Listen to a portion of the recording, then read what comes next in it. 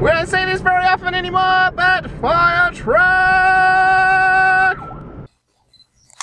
Good morning, Mother. Are we about to walk out onto the Balcony? Do you know which way it slides or what? Checking the weather. I'm double vlogging here, by the way. Oh, that's beautiful. Wow. Beautiful weather. Sunny as shit. I need to go get my glasses. Be right back. Ah, that holiday life. Froggy legs. We're at Surfers Paradise, guys. The official entrance to the beach. Wow! The water is so rough, and I'm sorry if there's wind noise, but it's insane today. Let's go closer. Hello and good afternoon, ladies and gentlemen. I don't need these glasses on. I don't need these glasses on. It's not even bright. It's not even bright. What are you guys up to today? Um, I've been chilling all morning, just uh, doing some YouTube stuff and some Photoshop stuff and some assignment stuff because got more assignments due this coming week.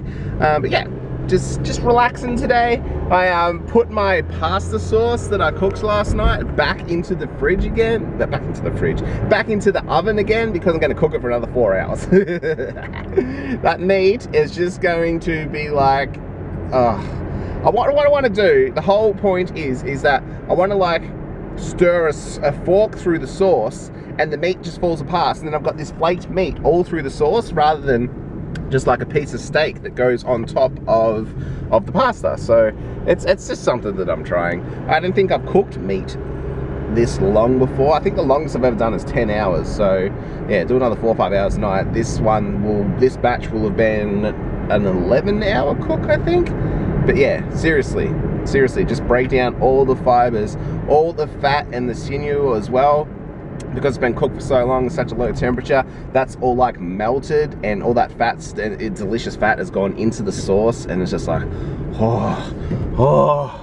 But yeah, at the moment, I'm off for a drive. Uh, I'm going to pick up another Arizona can because seriously, that was the greatest thing I've ever had in the last year and a half. Now bear in mind, I haven't had soft drink, so anything that's like not water but not bubbly I'm I, I, I, will try at the moment. Now the reason I say it's the greatest thing is because yes we have iced tea in Australia but no it is not made in the same way. You guys put high fructose corn syrup in your beverages in America? We don't have that here. You know how hard it is to find high fructose corn syrup in Australia? We put sugar and sugar like products and glucose in our beverages and like food and just like everything. So yes, it is iced tea, but no, it isn't the same iced tea that we've ever had. So, yeah, going for a drive at the moment, and I'm going to get another can. I mean, it's only a 15 minute drive, so 15 minute drive for a can of deliciousness, worth. Come, mum, strip off to your bikini. Great. I think you've dipped it enough. No, that's enough now. Good girl. Yay. so we're eating lunch at Kitty O'Shea's with the little beepster. She's got her bowl of chips here. I've got my massive Coke. Mum's got her Guinness. Tannah's very jealous at home right now. And yeah, we're in Cavill Avenue. And fish and chips, sauce, and a veggie burger with the best garlic aioli I've ever tasted. Sauce hands! She ran all the way here from where we ate lunch. She was so determined to get to the water. It's insane. And there she goes.